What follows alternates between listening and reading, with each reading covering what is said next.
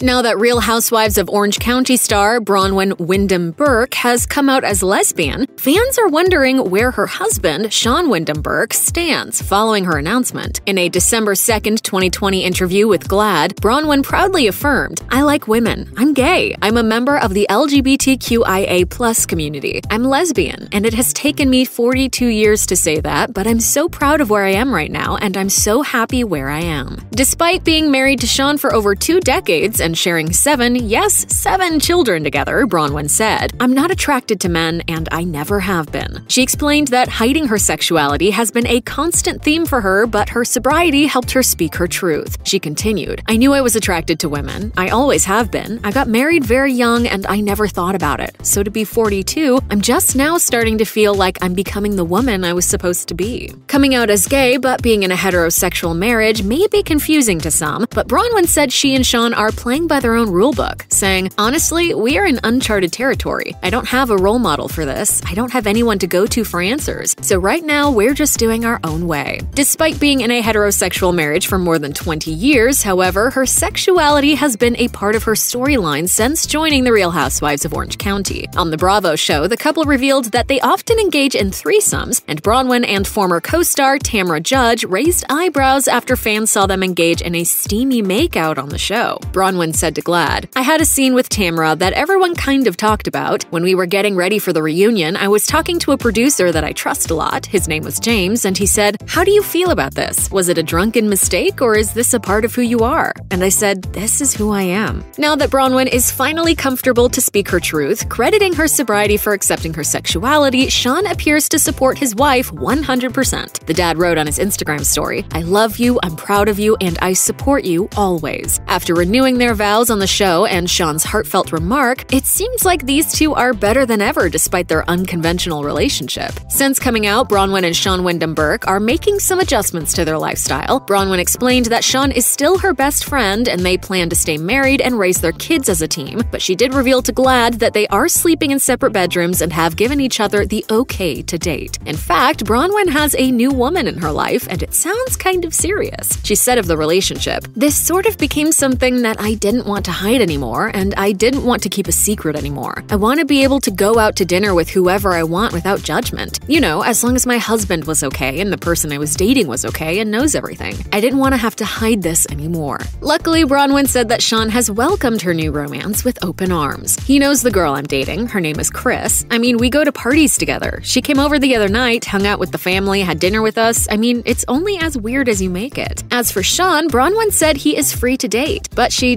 not share if he has already found a new lover. Additionally, she revealed Sean is considering taking a job opportunity in New York where he could possibly blossom like his better half. We cannot wait to see what life has in store for them.